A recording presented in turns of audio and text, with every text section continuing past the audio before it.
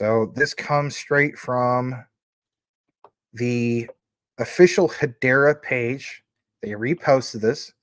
Talks about 10 million HC S20 transactions in the last five days. Of course, that's a typo. You know, he might be a foreigner and so on. It's okay. It says that's 10 million HCS transactions, 1,000 USD, 19,308 wallets holding this called HC uh, S20. Might want to look more into it, you guys, if you want. And it says, and we haven't even got through the first week. Um, of course, he has the, the link to, you know, hash scan. Take his word on it, right? We're not going to put a lot of emphasis on, on that. But you like to see things like this part of the what, guys? The Hedera ecosystem. You guys are always saying, hey, Max, share other things for these ecosystems. I, I forgot the whole thing in regards to Stronghold with, you know, Stellar and so on. Get into some, um, you know, the whole thing SHX. If we don't do it by Thursday, we'll do it uh, sometime next week. Okay.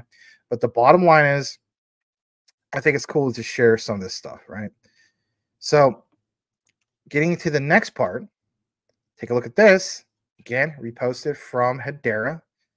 Generation Infinity states Hedera is setting the bar high. When are they not setting the bar high? By focusing on building a network that's not only profitable but also self sustainable, they are ensuring long term success and resilience. This is how you build for the future. And if anything, we got Hedera's, you know, some people say the number two guy because Leemon Baird is number one. I think kind of like both these guys are equal because you know he is the, what the co-CEO um, over at Swirlds Lab, and he's also co-founder of Hedera. So I would say he's equal to Leemon Baird, but he does have some comments. He's bullish, obviously, on H bar G uh, Genfinity, right? This is only a minute 12 seconds. I want to share this with you guys. It's nice to get some new H bar news. The Hedera network as a whole is seeing really good growth in terms of network usage, which then tra- translates into revenue that pays for the network usage and makes this whole project financially sustainable. And this year, this year there's going to be millions of dollars of revenue.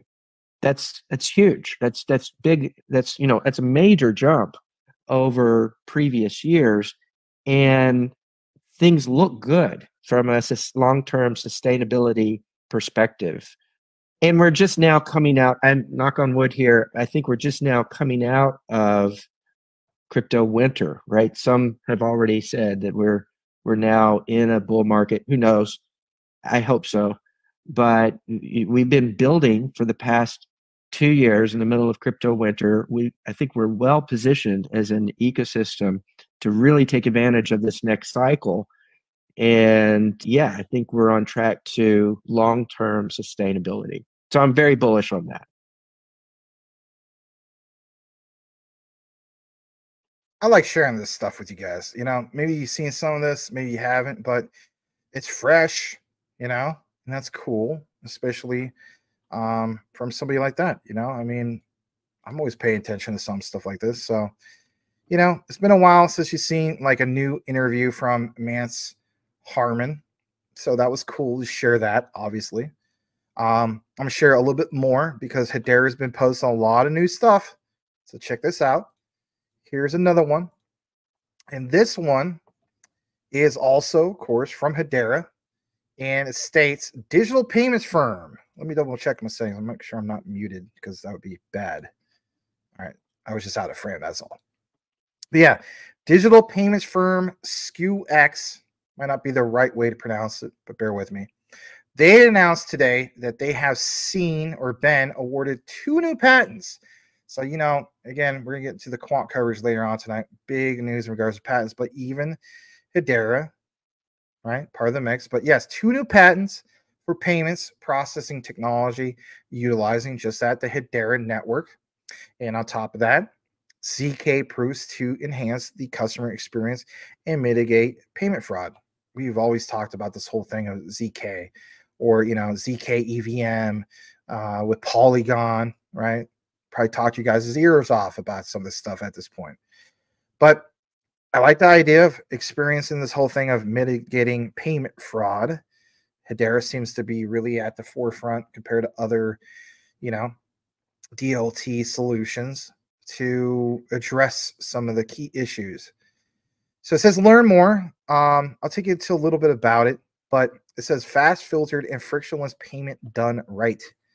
Now, let's take you to this article. And I'm not going to read the whole thing because it's a lot. But basically speaking, SKU is the, uh, or SKUPay, first multi patented item level payment adjud or adjudication. I can't pronounce that.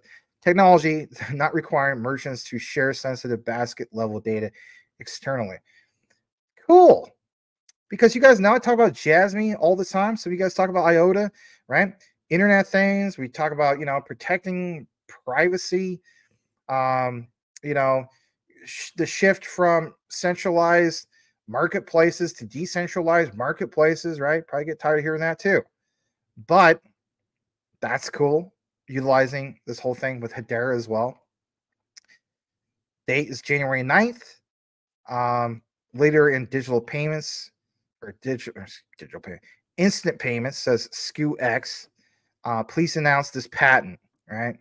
And basically for item level payment processing tech and it goes more further down about all these things new tools for enhancing customer experience and product level promotions. You may think that some of this sounds kind of boring. It's not, it's significant because you're a Hedera holder. And last I checked, if you can have something like Hedera, which does in fact compete with the likes of like, you know, Hyperledger and uh, even Corda, right? You have to keep in mind that if they have anything exclusive on their platform, that can basically legitimately compete with the competition, like I just mentioned, in the form of patents, I think it's a win win. So, going further down, we have some examples of this. Talks about an example of a fast growing market requiring item level um, added, I can't pronounce that tonight, adjudication at the point of sale in the U.S. healthy benefits market based on um, analysis of government records. It is uh, estimated to have reached 200 billion in 2023. 435 patent is directed towards facilitating real-time integration of promotional offers such as coupons, coupon codes, gift cards, etc. Um, says example is payments are a valuable proactive customer engagement tool for promotional customer services. The individualized promotions are serialized in a way that facilitates, facilitates excuse me, real-time tracking of the issuance, redemption, and corresponding insights that are gained. The capability enables a new enhanced customer experience for consumer packaged goods rebates, which volume is expected expected, excuse me, to reach 1 billion by 2026, and which estimated 50% will be redeemed to gift cards. So, you know, I'm always talking about Stellar, where I'm like, yeah, you know, Stellar's the one when it comes to like being used for like goods and services and you know, just like the regular Joe Schmo retail person and so on. But now you also see hash, you know, Hedera with the hash graph also right at the forefront too. So again, it's competition, and this is where I always feel as though why hold just one? Why not hold a lot of these? I mean, you guys have been through this. This is why we put so much focus on which ones are part of the whole thing of ISO 222. So there's so much more about this I'm not going to read all this, but one thing I want to get into is some of the significant things, at least in my opinion, that I want to bring to your attention. So, for one, um, my key thing in summary, based off what you saw for Hedera tonight, um, which basically speaking, we have a little bit more. Um, but in regards to the whole thing of SKU, is basically speaking, digital payments firm SKU, that announcement today, basically, of being awarded two new patents for payments processing technology, uh, utilizing, of course, Hedera's network and ZK proofs to enhance the customer experience and mitigate payment fraud. The significance of the whole thing, well, there's a few things that are significant. So, for one, the validation and adoption. Again, remember, like I said earlier, your key takeaway for the main topic of tonight's show is adoption. mass adoption. So SKUX is a prominent digital payments company, and their endorsement through patent acquisition highlights, of course, just that real world applicability and effectiveness of Hedera's tech, utilizing their tech. And it's crucial sector like finance, for instance. What they got going on, especially with these two particular patents, is going to very well attract a whole slew of other businesses in the payment space and spur industry adoption for what? Hedera. Isn't that what we want? Absolutely. Now, they have been awarded these patents that focus on aspects like item level payment acceptance, acceptance, excuse me, and fraud prevention. Now, don't get me wrong. Some of you guys are into like Verasity and so on. And one thing that has always stood out to me, um, well, with Verasity is like they also want to prevent fraud for people that uh, or businesses that are trying to advertise, especially when it comes to videos, to get real, you know, real engagement, real clicks. You don't want a bot, right? So all those things have significance. But if you like to see these other elements of what kind of makes other blockchains or other crypto projects, I should say, stand out, but being part of the whole mix with Hedera, that's cool. Some of you guys are also into, like, for instance, VET, right? Uh, VeChain. And um, one, th- one of the things I that I remember, you know, when I was first covering altcoins and I heard first heard about VeChain was, you know, hey, you know, this whole concept of being able to take like a barcode and, you know, um, if you're like down in New York or, or whatever, you know, um, you know, I've heard the stories. I haven't been there, but I have a couple cousins that live there, and they would tell me the stories of like, yeah, the black market's really real there. You're either going to get two forms of the black market. You're going to get the ones in which it's stolen items that are real and you know people pay the discounted prices because it's a hot item or you're literally you know thinking you're paying something at a discounted rate and it's fake right? You're getting fake polo uh you know hoodie or you're getting fake air jordans or you know whatever the case be nikes whatever right? Michael kors purse for your girlfriend or wife or whatever. So to have this with SKUX already there, already with the patent, and already accessing Hedera's tech, I think this definitely helps Hedera get the leg up. And, you know, we talk about mass adoption, we talk about multiple layers utility. This is really good. In conclusion, in regards to the SKU part of what we have for Hedera, this is a big technological advancement for mainly two specific reasons. So, for one, these patents do in fact showcase the innovative use cases, of course, for Hedera, and there's many different innovative use cases. But it's basically beyond, uh, excuse me, beyond its core strength and consensus, as we know, the hash graph consensus, right? Um, and security. This is going to integrate features like item level offers and secure digital payments um, that demonstrate specifically Hedera's flexibility and potential for diverse applications across different industries. Again, growing out that ecosystem. This is a premier project that's part of Hedera's ecosystem. How cool is that?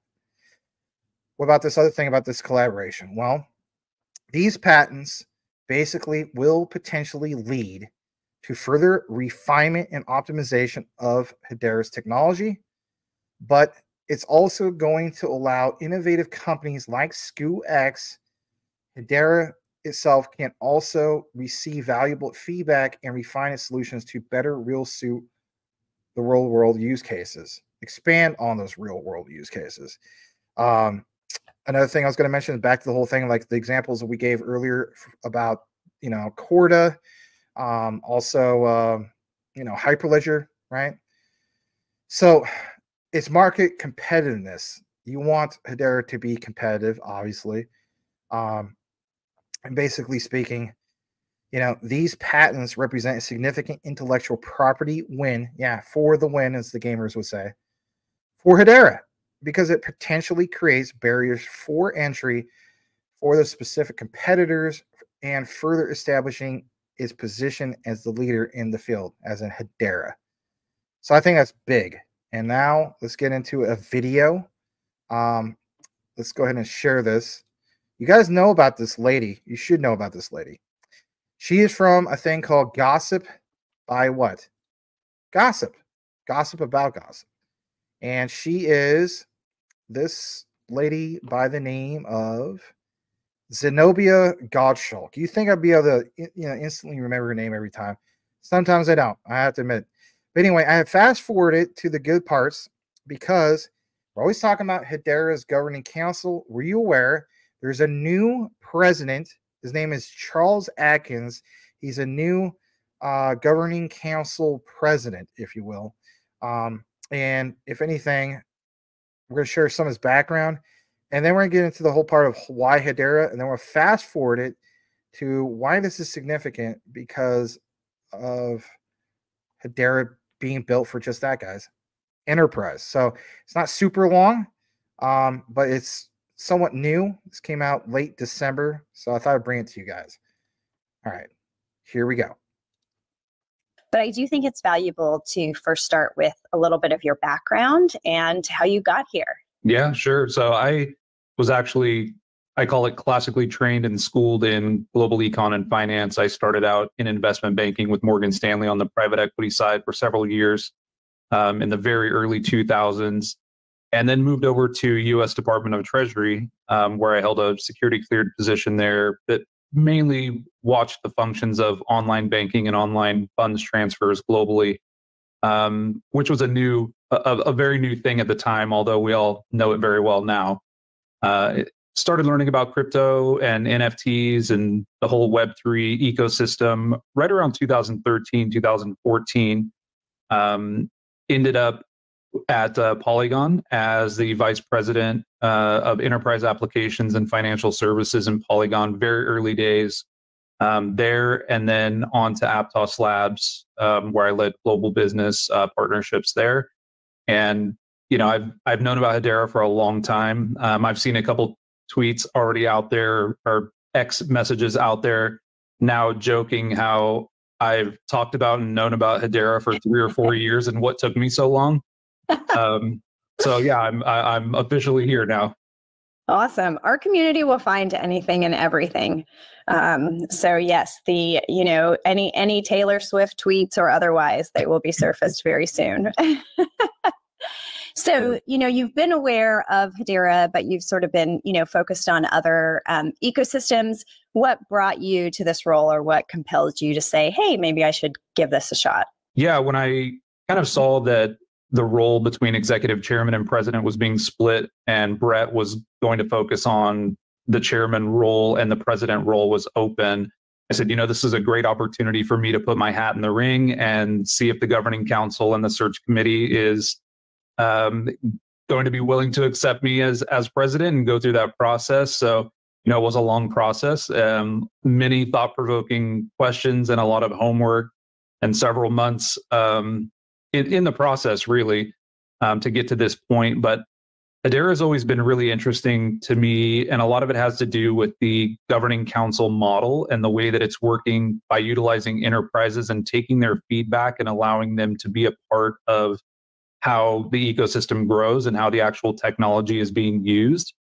You don't see many other chains taking that approach. They typically focus on the consumer, what the consumer has to say, they try to build products based on you know what they feel an individual consumer may want. But getting that institutional learning from organizations that already have that big of a footprint in the global economy is a really big deal. And i think that's one of the best ways to kind of drive the information about this technology out in you know to, to a broader scope of people and so, you know, taking a little bit of a step back, um, we did announce, you know, that we are splitting the role. So, can you help um, folks who are not, you know, necessarily involved in governance or involved in this level at their organization understand the difference between chair and president? Yeah, the chair is, uh, you know, the the presidential the president role, and specifically what I'll be mainly focusing on is the operations of the the staff at Hedera how Hedera is actually running some influence on on the foundation, Hashgraph Association, um, working very closely with Swirlds Labs and just really understanding kind of the broader ecosystem and community and helping to drive the operational efforts on that side and hopefully influence and bring in more council members in 2024 um, which you know will be really exciting. Um, on the chairman role that's more managing some of the governance things some of the governance decisions uh, managing many of the the meetings many of the governing council members the voting processes um, more things of that nature as far as the governance side is is concerned and I'll be mainly more on the operations side. You'll probably see me a lot more publicly speaking at events, being at events. Um, that's more of a role that I'll most likely be playing. And as you go out and engage, you know, with the public, um, are there any things that you want them to know um, in terms of, you know, either folks who who have known you in, you know, previous lives or um, who are just getting to know you? Yeah, I think if it's if it's somebody that's not familiar with Hedera or kind of DLT technology, blockchain technology in general, I hope that they really do take a look at the consensus mechanisms and the actual technology that drives Hedera to be what it is. Um, it's very unique, it's very scalable and very fast. And it's one of those, they call it, you know, the blockchain trilemma of how do you stay decentralized, fast, and secure. And Hedera is one of the chains out there. Well, I will say it's, it's DLT. It's not necessarily a sequential chain um, that really solves a lot of those problems. And I think that's why many of the larger organizations have been drawn to it, is because it does have that safety and security aspect, as well as being able um, to have the throughput and speed that an organization of those size would need. But that doesn't mean that if you're a builder or developer out there building a game, you can only imagine that Hedera is a great place to come and test building your game. If you get a lot of users, that's something that's really helpful. If you're building an NFT project and you're going to have many interactions and you want your community to thrive in an environment that's safe um, and one where the performance is going to excel, Hedera is a great place as well. So it's one of those rare places where the individual consumer can really find a place and large organizations can really meet all of the standards that they have as well. Yeah. And I think, you know, we talk about that too when we say it is built for enterprise or for that enterprise scale. That doesn't mean it's just for enterprise. You know, I have yet to meet a founder and entrepreneur who's like, yep, I just want to have this tiny project that never grows. Like, my wildest dream is to be an enterprise someday. So, why wouldn't you start by building on kind of that enterprise you know backbone and that um, that infrastructure that can help you scale up to where you want to be when you're su- successful beyond your wildest dreams. Yeah that's right. And so the community is going to see you you know out and about at a lot of places. Um, i think probably the first place um, since you're going to be up and running very quickly is in davos in um, january. I think you have been there before right? It's been several years but yes i have. I was back there in a government capacity with Treasury. Yeah. And so can you, you know, give us a little bit of color? Um, we've taken some of this community on that journey, but you know, the kinds of meetings and the kinds of interactions that you hope to have there now as part of Hedera. Yeah, I think a lot of the meetings that that I'll hope to have is obviously with large organizations, but also people that can, you know, move policy along that are thinking about Web3 and blockchain and DLT technology in a way that can bring some clarity to regulation. Um, that's something that's always really exciting to hear kind of what, you know, what's working out there and what may be finding challenges um, in certain regions. There's obviously a global presence there. So it's really good to have, you know, boots on the ground, as it were, and hear it from people who are actually dealing with this on a day to day basis. Um, the other thing is there's a lot of people there that have, you know, environmental and sustainability goals that I think Hedera can really impact in a positive way. So those are a lot of the conversations I'd like to have. And then with our governing council now being so strong, there's a lot of examples that I'll be able to bring to the table to say, hey, look, this is already working. This isn't this isn't just a vision that we have. These are actual case studies that are working.